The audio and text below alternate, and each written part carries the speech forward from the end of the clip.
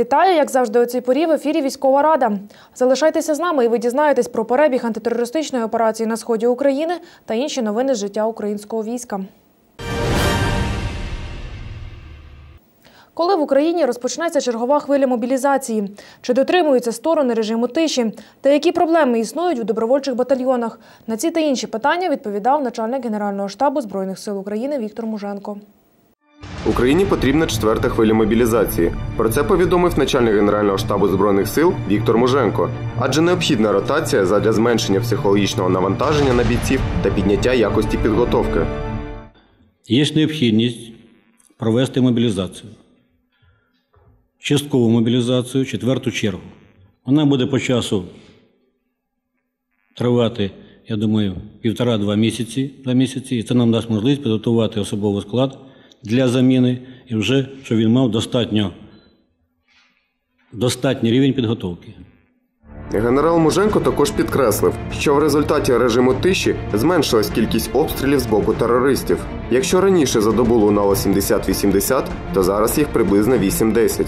Проводячи аналіз обстрілів в Генеральному штабі, ми бачимо, що кількість обстрілів з тяжкої зброї, я маю на увазі системи ГРАД, артилерійські системи, міномети, значно скоротилась.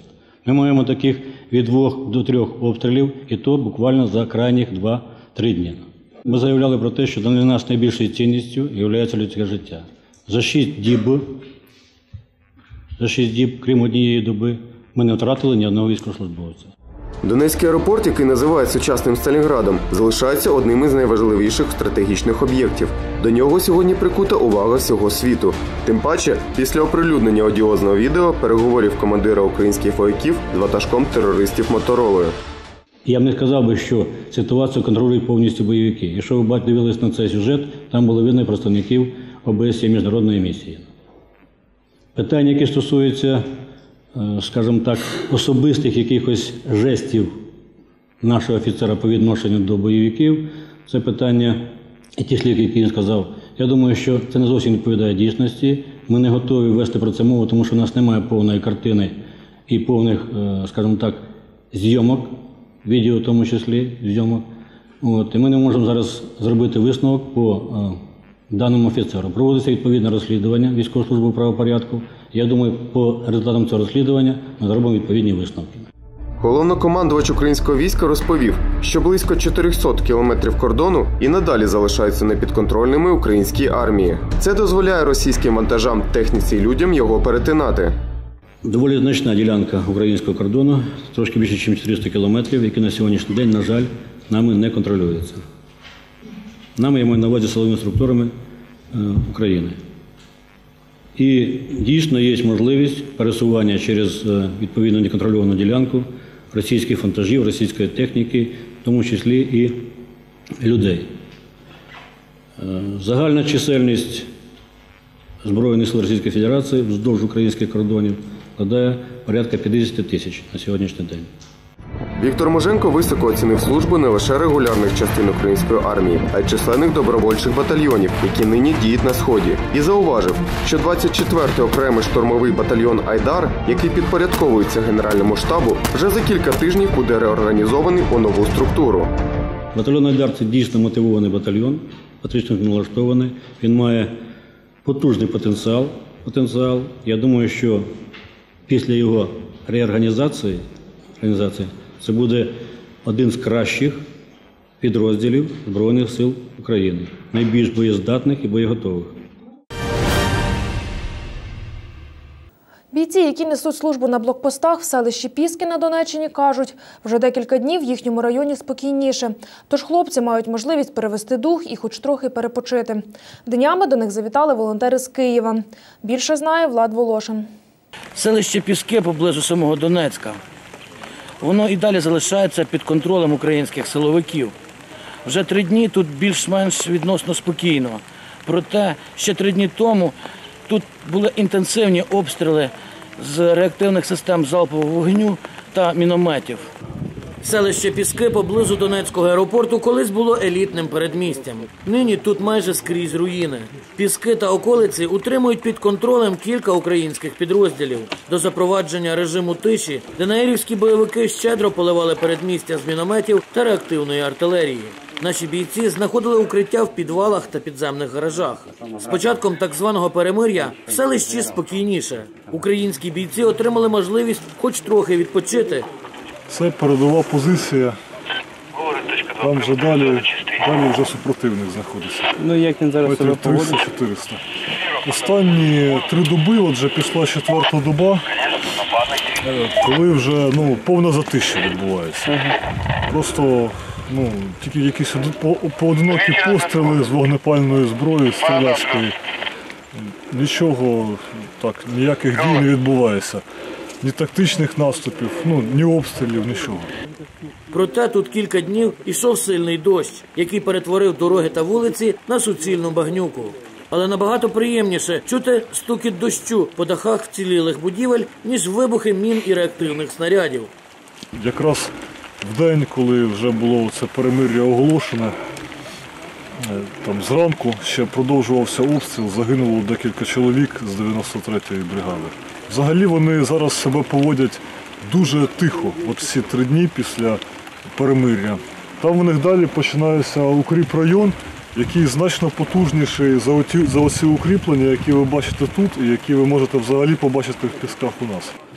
Настрій у бійців значно покращився, і біля деяких напівзруйнованих будинків, де мешкають солдати, навіть з'явилися новорічні ялинки. Також у гості сюди у піски завітали волонтери, які привезли на передову різдвяні подарунки та різноманітні смаколики. Привезли подарунки. Хочемо хлопцям зробити приємний сюрприз або подарунки да, на свято Святого Миколая. Привезли ой, так багато. Геть усе. Цукерки, печиво, хліб, сало, мед, варення, малину, калину, консерви, рибу, м'ясо.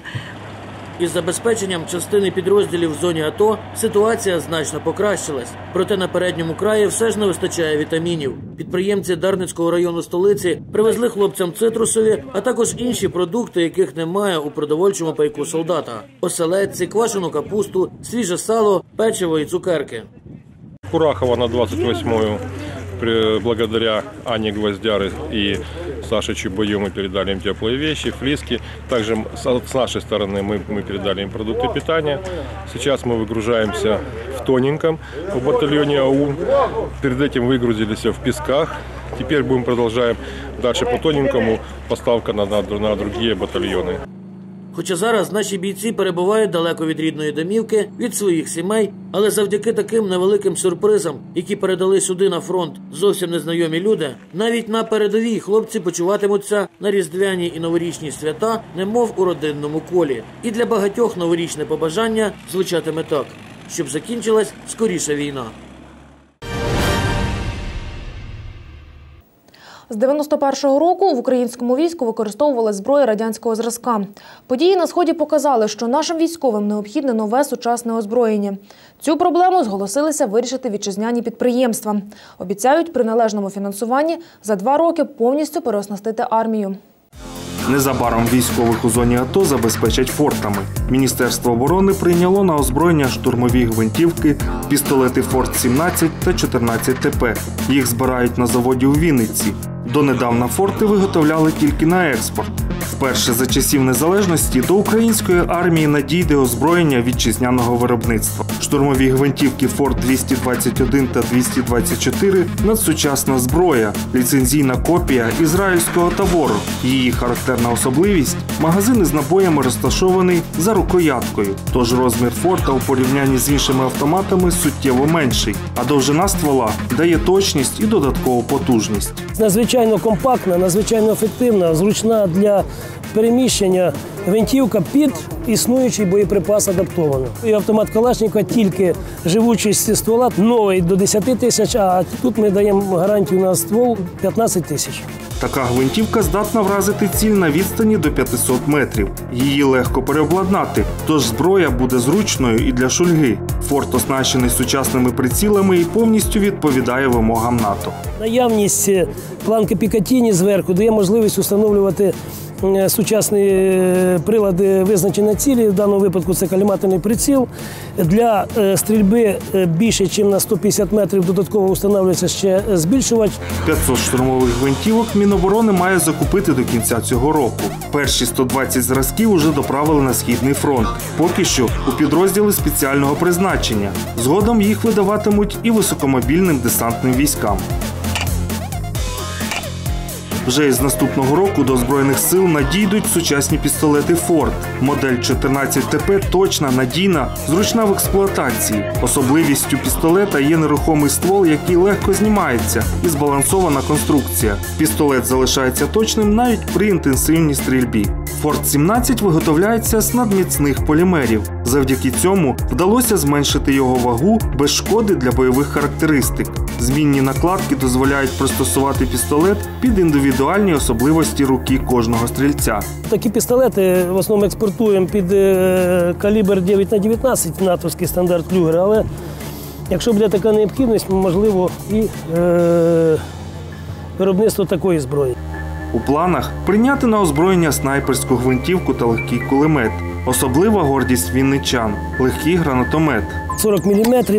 Він надзвичайно компактний, легкий переноски, важить до 2 кг, що надзвичайно е, на сьогоднішній день е, важливо. Щоб виконати замовлення Міністерства оборони, на підприємстві працюють у три зміни. Для збільшення потужностей закуповують нове обладнання. Підприємство має достатньо потужності для того, щоб найближчим часом, яких, як, як, якихось там 2-3 роки, повністю переоснастити армію, не тільки армію. Чекаючи допомогу від світу, ми нарешті зрозуміли, що захистити себе здатні самі. При відповідному фінансуванні вітчизняні підприємства забезпечать українське військо сучасною конкурентноздатною зброєю. З самого початку проведення антитерористичної операції на сході з нашими бійцями постійно перебувають військові капелани. Священнослужителі проводять молебні, підтримують воїнів морально, допомагають справитись із стресом. Днями у столиці вони зустрілися із американським психологом Наомі Пейджет. Що обговорювали, знають наші кореспонденти. Учасники бойових дій на сході нині особливо потребують психологічної підтримки, тому з ними постійно працюють психологи та капелани. Аби поділитися досвідом із українськими фахівцями, до столиці прилетіла світовий експерт з подолання посттравматичного синдрому. Я тут для того, щоб допомагати українській армії і психологам, навчати людей долати стрес. Доктор Наомі Педжет – кризовий інтервент при ФБР. Вже багато років вона працює з людьми, які пережили травматичний стрес, та має величезний досвід підготовки капеланів і волонтерів у країнах, де ведуться бойові дії. Вона переконана українським душпастерям, які вирушають у зону АТО, потрібно якнайбільше інформації по роботі з пораненими. Капеланам також необхідно знати, як піклуватися про себе. Адже якщо вони не зарадять собі, то як допоможуть солдатам? Гарному капелану потрібно мати, окрім теологічної освіти, ще й психологічну. На жаль, поки що це неможливо, але треба зробити так, щоб вони були підготовлені в обох цих сферах. Наомі співчуває українцям. Експерт зауважила, що і надалі буде ділитися з нашими капеланами власним досвідом. Питання психологічного розвантаження воїнів АТО сьогодні стоїть вкрай гостро. Психологи розробляють нові програми та методики, аби допомогти тим, хто повертається із буремного сходу. Яких результатів вже досягнуто і що робити, аби психогенних втрат на війні було якомога менше? Дізнаємось у директора науково-дослідного центру гуманітарних проблем збройних сил України Назіма Агаєва. Доброго дня, Назіма Асафовичу. Добрий день, Ірина. На одному із брифінгів ви якось сказали, що сьогодні частка психогенних втрат серед учасників АТО значно більша, ніж у інших війнах. На вашу думку, чому це так? Е, Ми порівнюємо ту війну, яка зараз е, відбувається в Україні, в порівнянні з війною, яка відбулася на території Афганістану. частка психогенних втрат е, суттєво збільшилась у зв'язку з підвищеною інтенсивністю бойових дій, а також застосуванням важких озброєнь, чого не було, наприклад, в тому ж Афганістані. Тому е, ситуація постійного впливу на психіку військовослужбовців, і коли немає часу на відпочинок у військовослужбовців, воно і призводить до того, що е, кількість психогенних втрат більша в порівнянні, ніж, наприклад, з афганськими війнами чи російсько-чеченською війною. Ну а що робити, щоб цих втрат було менше?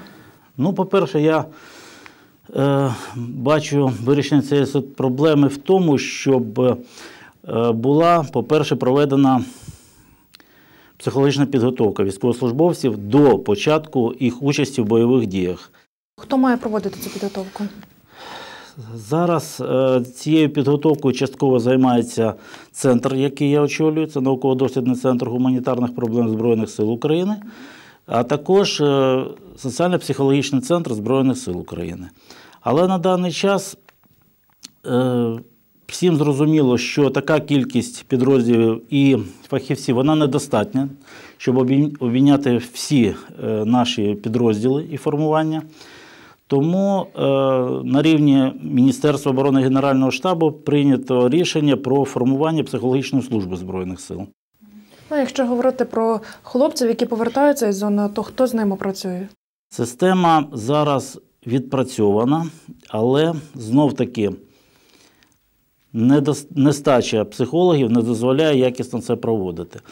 Е, Намагається з ними працювати знов таки центр, який я очолюю, соціально-психологічний центр Збройних сил України, а також деякі волонтерські організації. Я наполягаю на тому, що щоб не вважати психореабілітацію наданням відпуску, відпустки військовослужбовців, тому що військовослужбовець переміщується із зони бойових дій, тобто із стану психоемоційного напруження, пов'язаного з ризиком до життя, миттєво в мирне життя. Його психологічна психологія, взагалі психіка, не перебудовується на шлях е, ну, мирного життя, і він себе починає вести так, нібито він знаходиться в бойових умовах. Тобто бойові рефлекси в нього не стираються. Він може зреагувати на вибух, наприклад, шини в автомобілі, е, чи, наприклад, на фейерверк. Е, Він може зреагувати так, що зайняти місце сховище якесь. Ну і таке інше. Це ми називаємо бойовими рефлексами. Тому я б наполягав на тому, щоб надавати 5-7 діб перед відпусткою так, званого психологічного карантину, де б військовослужбовці в складі підрозділу могли б пройти е, психореабілітаційні заходи. Я наголошую в складі підрозділу, тому що тільки вони знають один одного, вони знають всі ці фактори, які впливали, і переживали все це разом. Тому загальна підтримка, і вони працюють як група підтримки, вона надає їм змогу, по-перше, зрозуміти, що це вже не війна, це мирний лад, зрозуміти, що люди реагують в мирному житті не так, як у зоні бойових дій, і зрозуміти те, що їх чекають рідні і близькі. І вони, е, ці рідні і близькі, це для них і будуть тими психотерапевтами, які допоможуть їм е, стати, ну, так би мовити, забути ці е, психічні, психологічні страждання. До речі, що ви радите родинам військовослужбовцям? Адже, вочевидь, і їм нелегко. Ну, безумовно, тут не треба його заставляти щось розказувати. Не треба на нього дивитись як на людину якусь особливу, тому що він почне це відчувати, і е, це буде йому постійно нагадувати, що він якийсь не такий, що до- нього придивляються, ну і таке інше. Тому, безумовно, якщо сім'я вона зіштовхнулася з такою проблемою і не може знайти порозуміння, тобто шляхів виходу з даної ситуації, треба звертатись до психологів. Безумовно. Тому що е, сімейна консультація вона виправляє всі ці проблеми. І наш центр він зараз е, завершує відпрацювання методичного порадника по для сімей військовослужбовців для подолання е, цих, е, скажімо так, психотравмуючих факторів, які військовослужбовець може привести в сім'ю, тобто поведінкові зміни. А можливо, в вашому центрі є, є кабінети, куди людина може звернутися, поговорити, розповісти про свої проблеми. Можливо, родина військовослужбовця може прийти, розказати про свої проблеми, порадитися.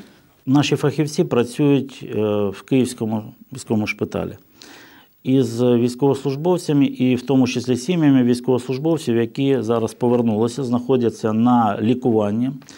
Не завжди у шпиталі є умови, е, де військовослужбовець і психолог можуть бути один на один. Тому ми радимо звертатись до нашого центру, і на базі центру ми можемо проводити такі консультування. Е, Керівництво Збройних сил нам зараз надало достатньо приміщень, обладнаних приміщень, е, які дають змогу проводити в тому числі групові заняття.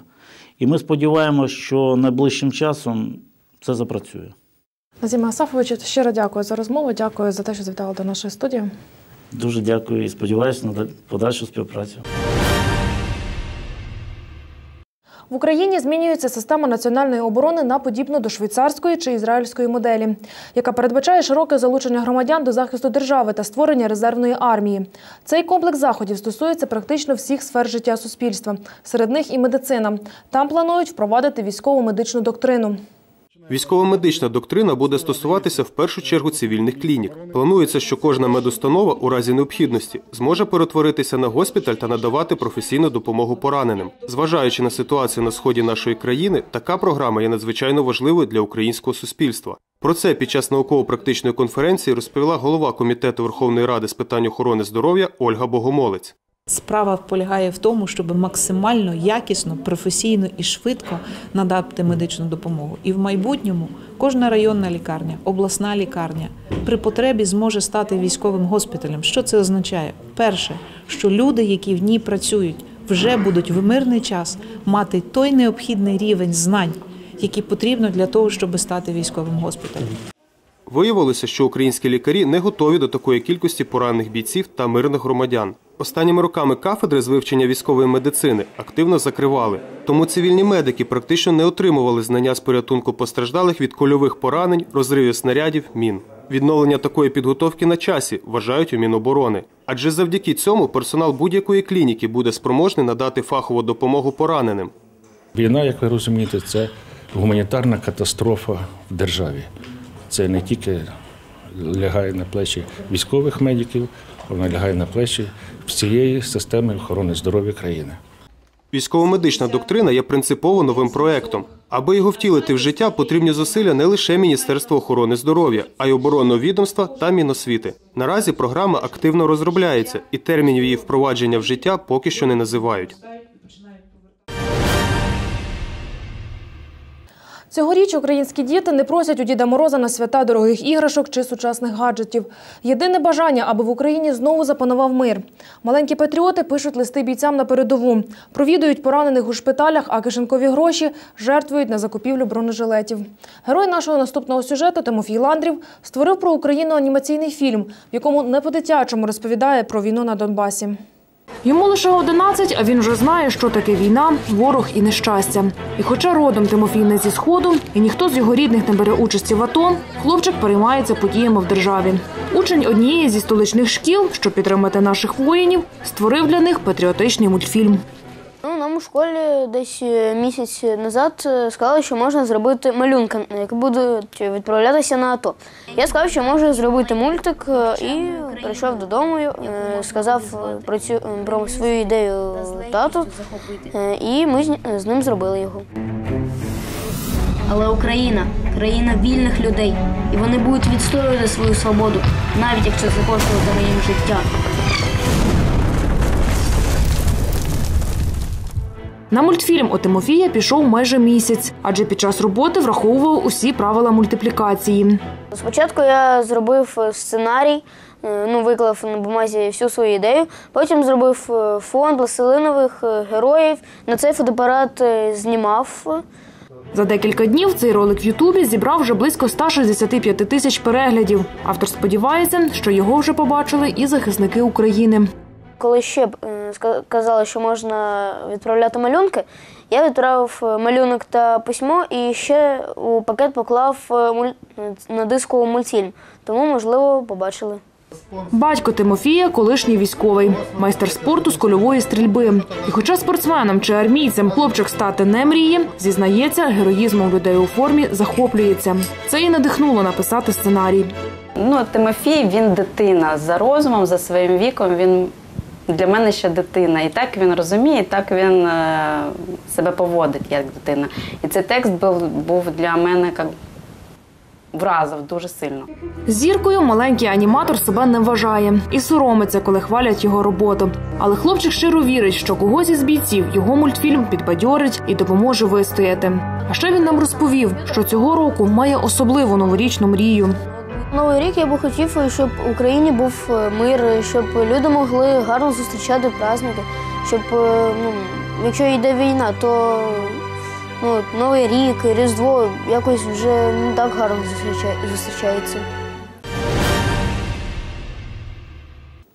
На цьому у мене все. Побачимось вже за тиждень. Бережіть себе.